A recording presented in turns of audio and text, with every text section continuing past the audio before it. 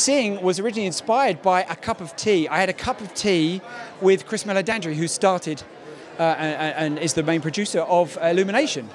And he sat me down and we just started talking about the kind of things we wanted to make. And that involved music, that involved animals, and it involved some kind of competition to, you know, to see and put, put to see characters going through that kind of a, a journey is, is just so appealing. And um, that's how it started. And it literally started with that a cup of tea and a chat about these things, and then it snowballed into this extraordinary event we're about to enter into. Yeah. You walk us through our main characters and the astonishing voice cast you've assembled to play them. It is astonishing, isn't it? The voice cast is ridiculous. Okay, so you have at the center of the story, you have Matthew McConaughey playing Buster Moon, who is a koala who runs a theater, and it's not doing so good. So he stages a live singing competition in the hopes that it'll bring people back. Uh, and then around him, you have uh, uh, these are, you follow the contestants that are part of his show. One of them is played by Seth MacFarlane. He plays a really nasty, spiteful, egotistical mouse. Uh, but he can sing beautifully. Then you have Tori Kelly playing Mina the elephant, who is, suffers from the most appalling stage fright to the point where she just can't even speak. Then you have uh, Scarlett Johansson, who's playing Ash the porcupine, who's in a terrible relationship with her, with this awful boyfriend of hers, who's very boring and under, you know, keeps her under his thumb, and she really needs to get out from under that. And then you've got um, Reese Witherspoon, who plays Rosita the pig, who is married and has 25 piglets, and is struggling like mad to try and reconnect with that part of herself that she had to let go of in order to have a family. And finally, the final member of the cast is played by Taron Egerton. He plays a gorilla called Johnny, who's a British Cockney gorilla who is his father's getaway driver because his dad's a gangster.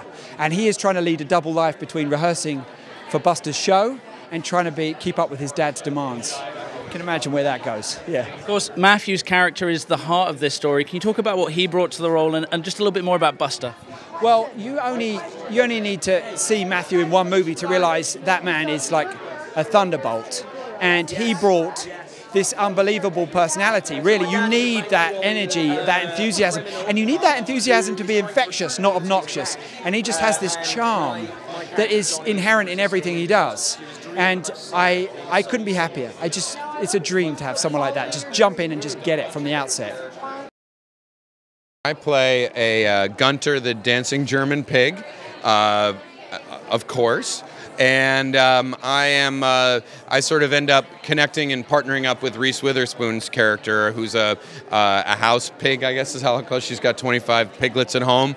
And uh, together we sort of traverse the singing competition, and, and uh, my character's there, I think, to help give her a little more confidence and, and loosen her up a bit what do you think fans can expect overall from the world of Sing?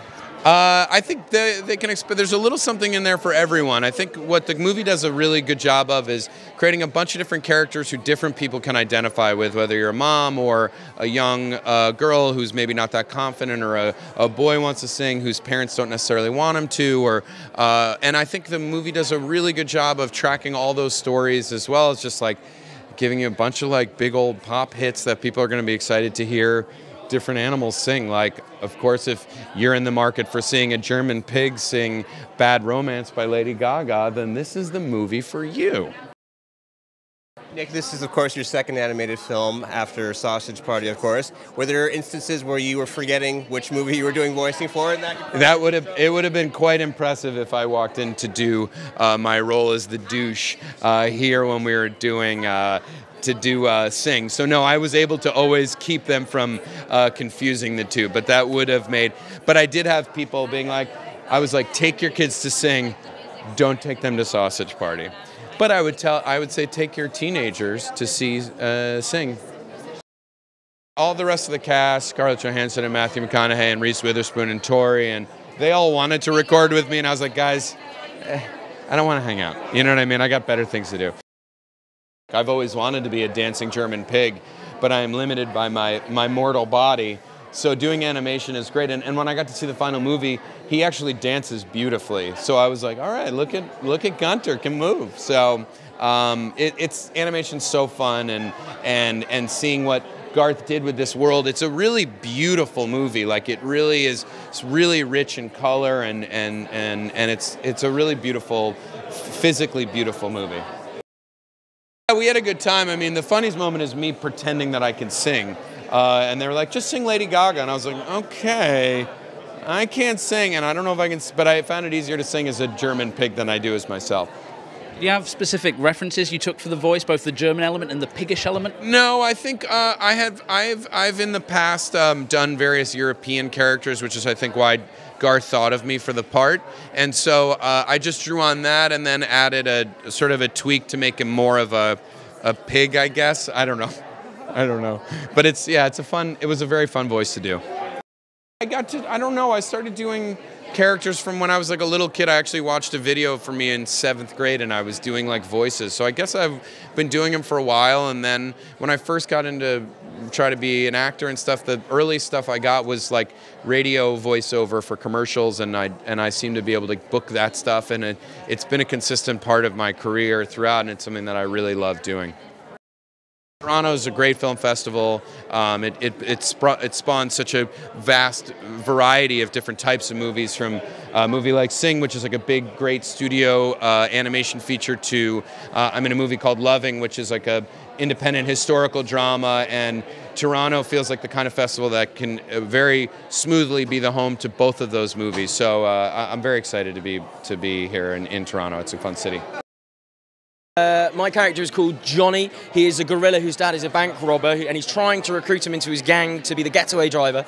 And my character Johnny is resisting and wants to pursue his dream of being a singer, so he gets involved in a singing competition organised by Matthew. Sorry, I've just knocked that microphone. Matthew McConaughey's character, who is a koala bear called Buster Moon.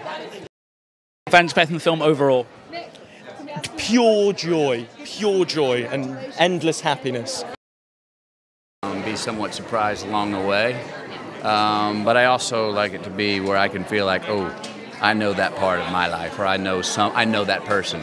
Oh, I, that person was this so and so in my real life. Um, yeah. Let's talk about relating to the character. Yes. Being optimistic. I'm pretty optimistic. Yeah. No, I've got a lot of things that I'm thankful for in my life. Um, some I've created, and a lot of have been good fortune. So I'm not one to slide into false drama very quick, and we're not we're not fans of that in our whole family. We got a lot to be thankful for and a lot to look forward to. And um, this guy Buster Moon uh, is almost going to lose it all many many times, but. Uh, He's a great salesman, and he is a true optimist. Yeah. And lastly, koala bear is nocturnal. Are you nocturnal? Sometimes.